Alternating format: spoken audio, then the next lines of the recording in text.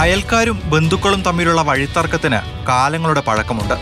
തർക്കം ചിരവൈരാഗികളെ പോലെ ഇരുകൂട്ടരെയും മാറ്റുകയും ചെയ്തു. അതിനിടെയാണ് ഞായറാഴ്ച വീണ്ടും ആറ്റുപറമ്പിൽ ചന്ദ്രനും ബന്ധുക്കളും വീണ്ടും വഴിയെക്കുറിച്ച് പറഞ്ഞ് തർക്കമായത്. വാക്കേറ്റം കയ്യാങ്കളിയിലേക്ക് മാറി. ചന്ദ്രന്റെ ബന്ധു രാജനായിരുന്നു മറുവശത്ത്. ഇരുവരും തമ്മിലുള്ള കയ്യേറ്റം കണ്ട് ഓടിയെത്തിയ രാധ പ്രശ്നത്തിൽ ഇടപെട്ടു. പിടിച്ചുമാറ്റാൻ ശ്രമിക്കുന്നതിനിടെ അടിയേറ്റത് രാധയുടെ മൂക്കിനാണ്. ബോധക്ഷയത്തോടെ നിലത്ത് വീണ രാധയെ ആശുപത്രിയിൽ എത്തിച്ചു. പരുമലയിലെ ചികിത്സയ്ക്ക് പക്ഷേ തിങ്കളാഴ്ച വരെ മാത്രമേ രാധയെ ജീവനോടെ നിലനിർത്താൻ സാധിച്ചുള്ളൂ. വൈകിട്ട് മൂന്ന് മണിക്ക് മരണം സ്ഥിരീകരിച്ചു.